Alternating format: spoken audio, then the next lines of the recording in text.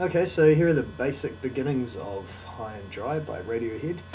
Um, we'll start with the chords. So our first chord will be E minor.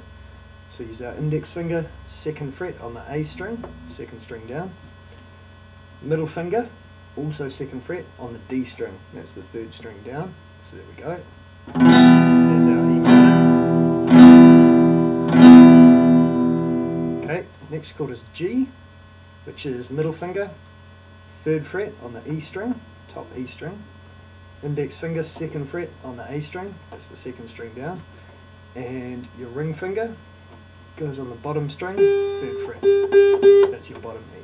So there's a G there.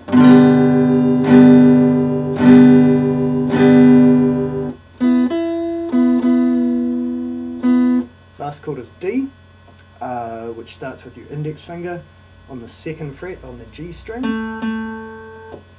Your ring finger will go on the third fret on the B string, that's the second string from the bottom. And your middle finger will go on the second fret on the bottom string, the bottom E string. When you play a D chord, and try to avoid playing the top string, so just the bottom five.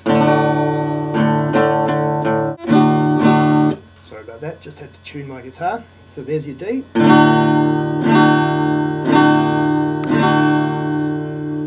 So what we're going to do now is just play four E minors, four Gs, and then we'll do eight. Oh, yeah, eight Ds. So go. There's your four E minors. It's four Gs and then eight of the D.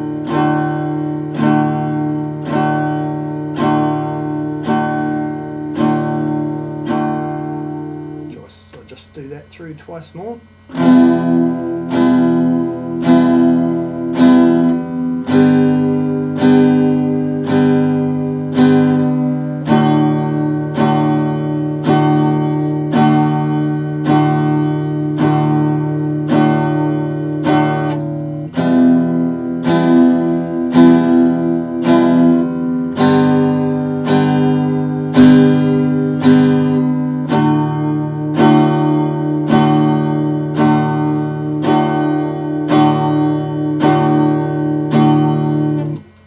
Okay, so the next thing we're going to do is just practice the strum.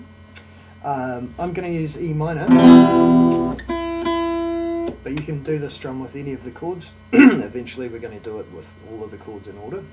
Starting with E minor, so we've got down, down, up, up, down, down, like that. So those first two downs are slow.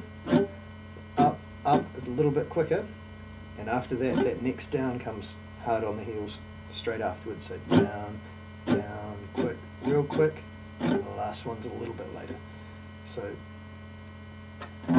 play it all together, it should sound like this. Down, down, up, up, down, down, like that.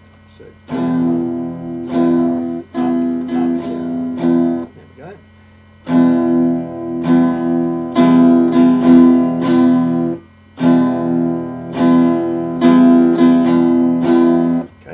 going to play that a little bit slower, four times through.